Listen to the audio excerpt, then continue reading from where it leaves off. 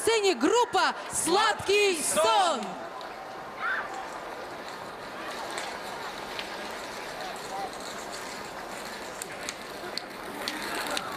С Новым годом! Привет, Россия! Ну, потанцуем, попоем!